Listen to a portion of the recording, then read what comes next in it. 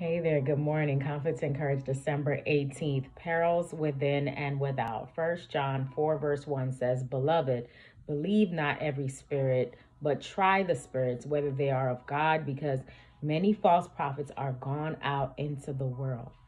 As the years went by and the number of believers grew, John labored with increasing fidelity and earnestness for his brethren. The times were full of peril for the church. Satanic delusions existed everywhere.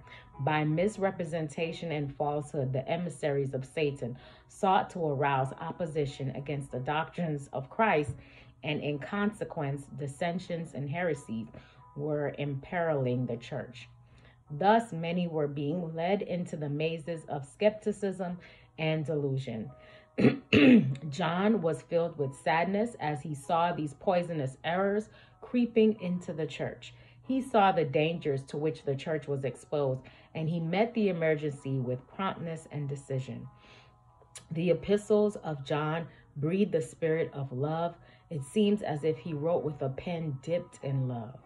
But when he came in contact with those who were breaking the law of God, yet claiming that they were living without sin, he did not hesitate to warn them of their fear, fearful deception. We are authorized to hold in the same estimation as did the beloved disciple those who claim to abide in Christ while living in transgression of God's law.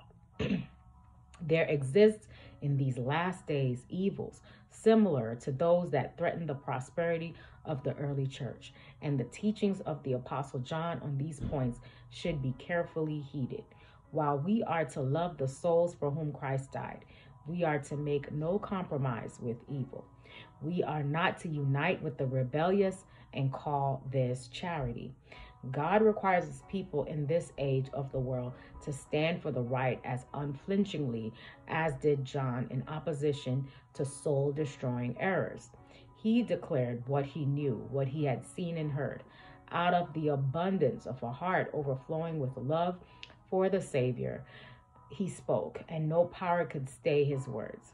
So may every true believer be able, through his own experience, to set to his seal that God is true.